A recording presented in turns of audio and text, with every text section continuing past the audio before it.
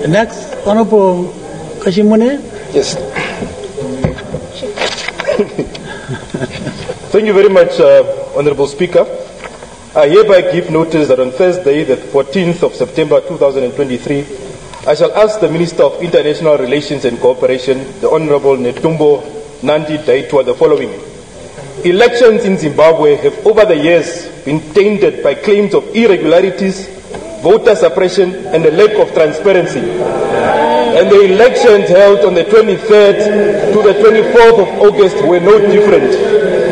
That is why, Honorable Speaker, when President Geingob was the first president in SADC to congratulate Emmerson Mnangagwa on a disputed election, it raised concern. This action by President Geingob is inconsistent with Namibia's long-standing commitment to democratic principles and human rights, both, both regionally and internationally. Moreover, moreover, Honorable Speaker, the preliminary SADC Observer Mission report on the elections came, came to a damning conclusion that aspects of the elections fell short of the requirements of the Constitution of Zimbabwe, the Electoral Act, and the SADC principles and guidance governing democratic elections. I therefore ask the Honorable Minister the following. Number one, Order, order, please. can I be protected, Honorable Speaker? Can I? The, the Prime Minister is bullying me. One member. Number one, Hang on, hang on, hang on, hang on, hang on. Hang on. Order, order. Honest, order, order, order, order, order, please. Prime Minister. Can I, can I suggest? Can I suggest?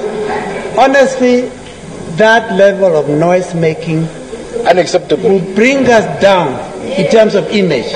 We don't, we don't need that. You don't need that. No, honestly speaking, we don't need that. Exactly. We, we, we accept, we, there is always Constitution of Zimbabwe, the Electoral Act, and the SADC principles and guidance governing democratic elections. Honorable Speaker, can I be protected? Hon- Honestly, hon- please, let's have order.